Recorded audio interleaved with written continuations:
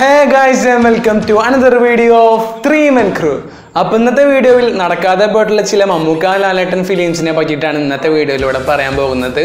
What's a word squad am bias Marley from three men crew so let's get started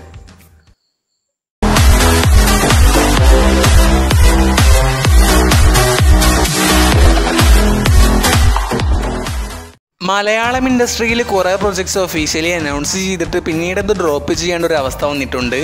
ഓഡിയൻസിന് high ലെവലിൽ expectations കൊടുത്തിട്ട് അവസാനം drop ചെയ്തിട്ടുള്ള കുറച്ച് മമ്മൂട്ടി മോഹൻലാൽ ഫിലിംസ് ഉണ്ട്.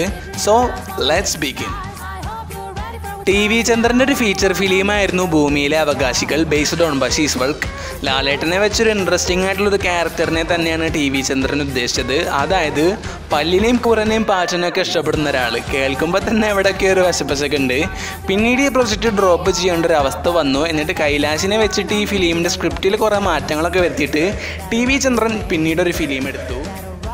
ലൂസിഫറിൽ ലാലേട്ടനും രാജുവേട്ടനും മഞ്ജു വാര്യറും ഉണ്ടായിരുന്നെങ്കിലും ഇവർ മൂന്ന് പേരും തമ്മിലുള്ള ഒരു സീൻ പോലും വരുന്നില്ല. ലാലേട്ടനുമായിട്ടുള്ള രാജുവേട്ടന്റെ പ്രസൻസ് ആയാലും മഞ്ജു വാര്യറിന്റെ പ്രസൻസ് ആയാലും അത് വളരെ കുറവായിരുന്നു. പക്ഷേ ഒരു ഫുൾ ടൈം ഫിലിം രഞ്ജിത്ത് ഇവരെ വെച്ചിട്ട് പ്ലാൻ ചെയ്തിട്ടുണ്ടായിരുന്നു. ആദ്യം ഇത് കേട്ടപ്പോൾ എല്ലാവർക്കും ഭയങ്കര എക്സൈറ്റ്മെന്റ് ആയിരുന്നു. ലാലേട്ടനും രാജുവേട്ടനും ടീമപ്പ് ചെയ്യാന്ന് പറഞ്ഞാൽ അതൊരു വെറൈറ്റി ഉള്ള ഒരു കാര്യമാണ്. പക്ഷേ രഞ്ജിത്ത് ഈ ഫിലിം പിന്നീട് ഡ്രോപ്പ് ചെയ്തു. അതിന്റെ ഒരു കാരണം എന്താണെന്ന് വെച്ചാൽ ഈ ഫിലിമിന്റെ സ്ക്രിപ്റ്റ് രാജുവേട്ടൻ വായിച്ചപ്പോൾ ക്ലൈമാക്സിന് വിനീത് ശ്രീനിവാസിന്റെ ഫിലിമായ തിരയുടെ ക്ലൈമാക്സുമായിട്ട് സാമ്യമുള്ള പോലെ തോന്നി. ഈ ഒരു കാരണം കൊണ്ടാണ് ഈ ഒരു ഫിലിം ഡ്രോപ്പ് ചെയ്തത്. കെ ജി ജോർജിന്റെ നടക്കാതെ പോയൊരു എപ്പിക് ഫിലിമായിട്ട് ഈ പ്രൊജക്റ്റിനെ കാണാം. സി വി ബാലകൃഷ്ണന്റെ നോവലായ കാമമോഹിതനെ ബേസ് ചെയ്തിട്ടായിരുന്നു ഈ ഫിലിമിന്റെ സ്ക്രിപ്റ്റ് ആദ്യം മമ്മൂക്കയെയും ലാലേട്ടനെയും ഉൾപ്പെടുത്തിയിട്ടായിരുന്നു ഈ ഫിലിമിന്റെ കാസ്റ്റ് പിന്നീട് മമ്മൂക്കയുടെ റോൾ റീപ്ലേസ് ചെയ്തിട്ട് ലാലേട്ടന്റെ ഒരു ഡബിൾ റോളാക്കി മാറ്റുകയായിരുന്നു. ഈ ഫിലിമിന് മ്യൂസിക് ഡയറക്ടറായിട്ട് ഇളയരാജ ഉണ്ടായിരുന്നു. സിനിമാറ്റോഗ്രാഫറായി സന്തോഷ് ശിവൻ ഉണ്ടായിരുന്നു. പിന്നീട് വന്നൊരു ടെക്നിക്കൽ പ്രോബ്ലം കാരണം ഈ ഫിലിമും ഡ്രോപ്പ് ചെയ്യുകയായിരുന്നു. മമ്മൂക്കാടെയും ലാലേട്ടന്റെയും ഒരു കോമ്പിനേഷൻ വന്നു കഴിഞ്ഞാൽ ബോക്സ് ഓഫീസ് ഇളകി മറിയാൻ വേറെ കാരണങ്ങളൊന്നും വേണ്ട.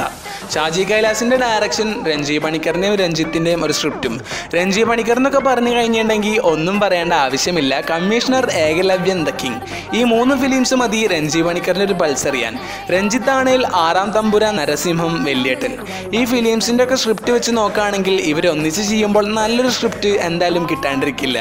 പോരാത്തതിന് മമ്മൂക്ക ലാലേട്ടൻ കോമ്പിനേഷൻ പക്ഷെ എന്തോ ടെക്നിക്കൽ പ്രോബ്ലം കാരണം ഈ ഒരു പ്രൊജക്റ്റും ഡ്രോപ്പ് ചെയ്യേണ്ടി വന്നു. പ്രിയദർശൻ എന്തുകൊണ്ട് ഈ പ്രൊജക്റ്റ് ഡ്രോപ്പ് ചെയ്തു എന്നറിയില്ല. ലാലേട്ടൻ ശ്രീനിവാസൻ രഘുവരനെ വെച്ച് വിജയിക്കാൻ ചാൻസ് ഉണ്ടായിരുന്ന നല്ലൊരു ഫിലിമായിരുന്നു ധനുഷ് കോടി. വിക്കിയിൽ ഇതിന്റെ സ്റ്റോറി വായിച്ചപ്പോൾ അങ്ങനെ തോന്നി. ധനുഷ് കോടിയിൽ ഒരു അന്വേഷണത്തിന്റെ ഭാഗമായി എത്തുന്ന പോലീസ് ഓഫീസറായ ശ്രീനിവാസൻ. ശ്രീനിവാസിന്റെ ഫ്രണ്ടായ ലാലേട്ടൻ. ഒരു ഡ്രഗ് മാഫിയയെ കണ്ടുപിടിക്കാനുള്ള ശ്രമത്തിലാണ് ശ്രീനിവാസൻ. രഘുവരനാണ് ഇതിന്റെ ഹെഡ് എന്ന് ശ്രീനിവാസൻ കണ്ടുപിടിക്കുന്നു. ഇത് ലാലേട്ടനോട് പറയുകയും ചെയ്യുന്നു. ഫിലിമിന്റെ ക്ലൈമാക്സ് എത്തുമ്പോൾ രഘുവരന്റെ പിന്നിലുള്ള യഥാർത്ഥ ഹെഡ് ലാലേട്ടൻ ലാലേട്ടനാണെന്ന് ശ്രീനിവാസൻ കണ്ടെത്തുന്നു. Yeah narcotics is a dirty business എന്തുകൊണ്ടും ലാലേട്ടന് നല്ലൊരു നെഗറ്റീവ് ഷെയ്ഡായിട്ടുള്ള ക്യാരക്ടറായിരുന്നു ഈ ഫിലിമിലുള്ളത്. പക്ഷേ എന്തുകൊണ്ടോ ഈ ഒരു പ്രൊജക്റ്റും ഡ്രോപ്പ് ചെയ്യേണ്ടി വന്നു. അപ്പോൾ നിങ്ങൾക്കുള്ള വീഡിയോ ഐഡിയാസ് ഉണ്ടെങ്കിൽ കമന്റ് ഡൗൺ അല്ലെങ്കിൽ ഇൻസ്റ്റാഗ്രാമിൽ ഡി എം ചെയ്യാം. അപ്പോൾ ഇതുപോലത്തെ വീഡിയോസിനും മറ്റ് വീഡിയോസിനും വേണ്ടി ചാനൽ സബ്സ്ക്രൈബ് ചെയ്യുക. വീഡിയോ ഇഷ്ടമാണെങ്കിൽ മറ്റുള്ളവർക്ക് ഷെയർ ചെയ്യാൻ ശ്രമിക്കാം താങ്ക്സ് വാച്ചിങ് ബൈ ഗായ്സ്